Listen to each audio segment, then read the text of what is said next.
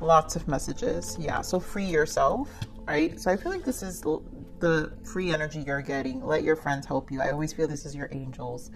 So I feel like this is your connection right now to spirit.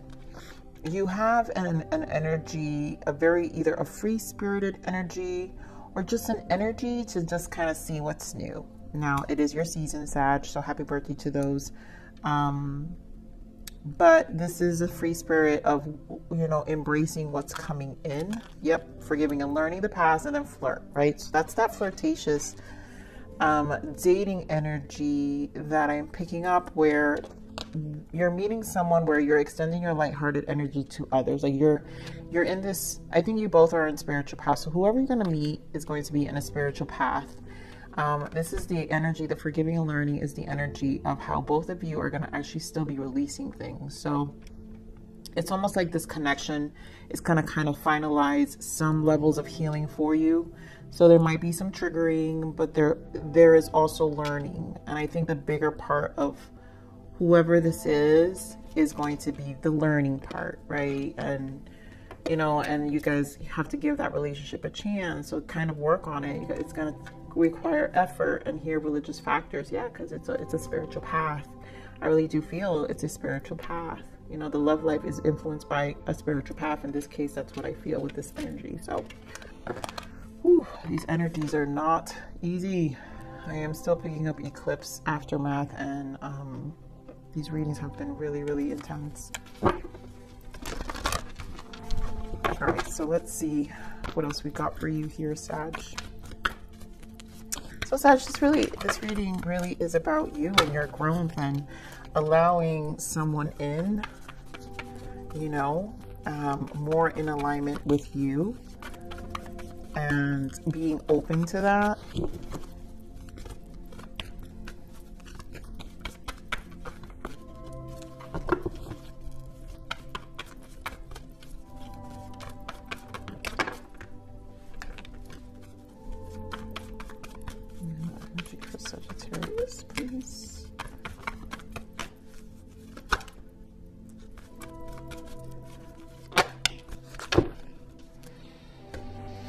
Wow, sixes have been so important. I have to point that out. Six of, six of wands, it's in the bottom, but it's been very important in all the reads so far. So because it's, because it's in the bottom, this is actually another, a lot of harmonizing. These energies aren't easy. And I just feel like the six of wands is perseverance. The soul needs to keep pushing. I feel like spirit is just stressing to everyone, keep pushing your soul. Yes, it was, it's a lot. Yes, we know, but keep going so throat chakra with the star, hope. And again, it's that hope. I think it's allowing you to vocalize and express yourself in different ways. Express your renewal, your spiritual side, you aligning to your star, you being, you um, really activating your life in different ways. It's almost like it just connections are different right now we have the trapped in fear and the spiritual strength. Wow.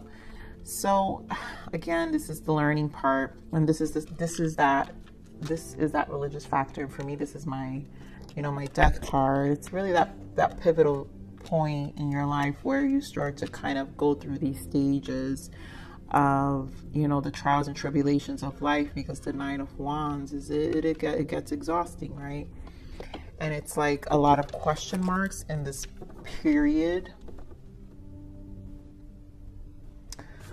But it's it's your reinvention. So don't this is temporary, you guys. Um this is for the next couple of days for some of you and for others of you maybe the next couple of weeks for sure um, until the solar eclipse most likely give me more to, give me more of this throat chakra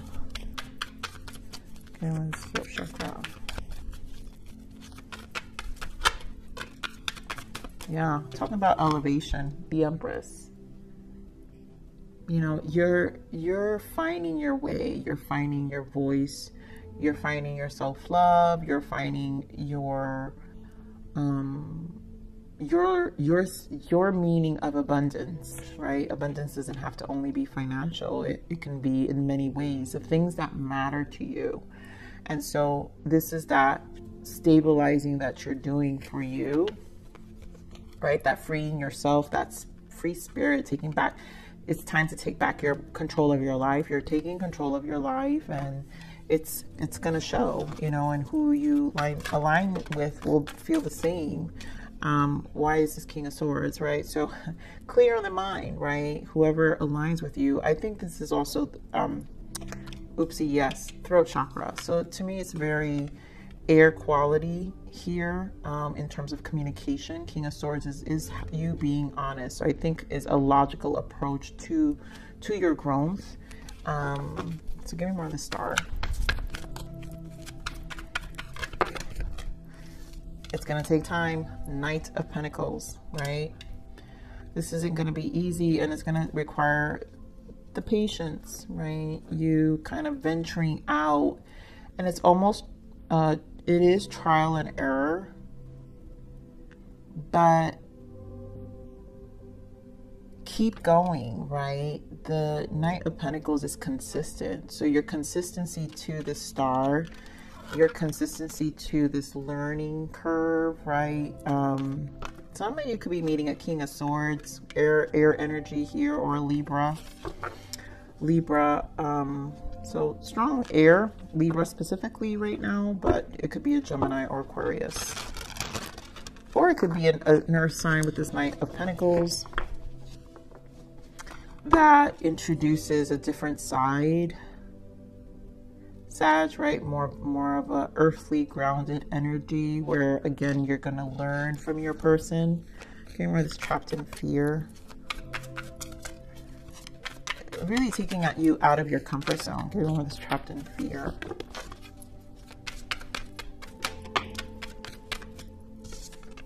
Eight of Pentacles, wow.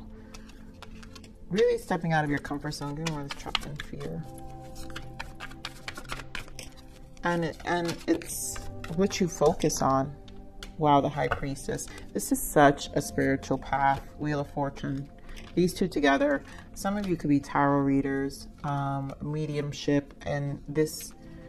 It could be the beginnings of. That's what I'm saying. It's a spiritual path. It could have been the beginning of your spiritual awakening, where you kind of have to isolate for some time. And so some of you probably went through this isolation. You spiritually focused on yourself high priestess. And uh, here with the wheel of fortune usually the two combined means that things are are presenting themselves um, in a very mystical way. And it can create this um, level of isolation that makes you uncomfortable to put yourself out there. Five of pentacles ten of wands. Uh, some of you may have suffered anxiety because of it and dealing with people outside, you're kind of very sensitive. Um, so there might be a sensitivity to getting out there, but I think it's time. Spirit wants you to extend your lighthearted energy. It's time to extend yourself and just really go out there. So give me more of the spiritual strength. Why the Nine of Wands? Two of Cups. Yeah, it's time to gather. Give me more of this Nine of Wands. And like I said, this person's going to teach you something. You guys could be dealing with a Pisces, so this could be a spiritual person. This could be your spiritual person, but here it goes. Beautiful, right? Nine of Wands with the Two of Cups and the Judgment. Talk about spiritual awakening. Talk about a soul that comes in. Some of you, it's a is a teacher, and and both of you are each other's student and teacher at the same time.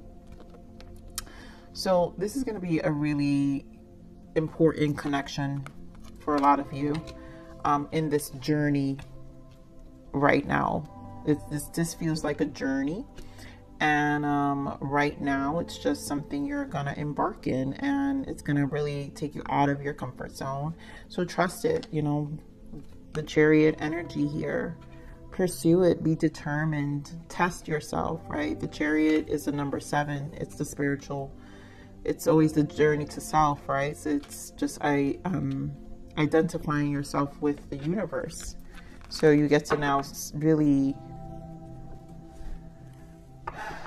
um, it's Cancer energy, and I like to associate this with the moon, right? Where the moon is our light and shadow hidden, but the chariot is when we dive into those light and shadow sides and from deep levels.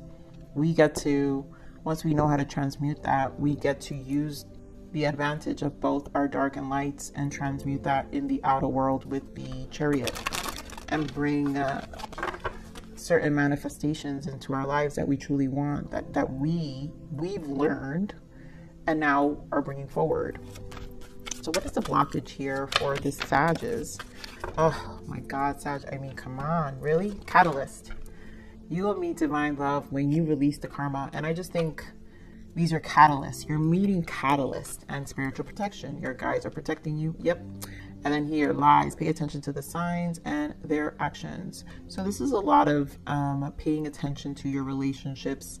Um, I think also I'm I'm I'm really feeling here is not lying to yourself, right? Understanding what are catalysts and what are actual lessons as well. So this journey can get very tricky, but know that you are protected. This is all protection. This is all for a reason. This this connection will be for a reason.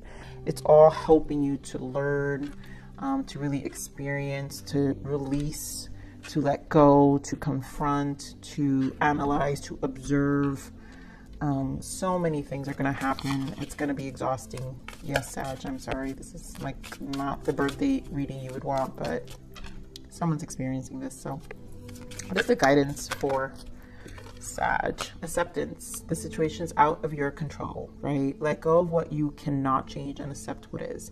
No need to worry. Allow the universe to take the wheel, right? That's the wheel here. They are helping you. It's very mystical, I know it's not the most comfortable where you're like in this surrendering acceptance stage in your life and you're like well is this gonna work out is this gonna flow how is this gonna turn out you know really surrendering and letting go of control here and that's just the way the universe works so let's get you one more guidance sag Oof.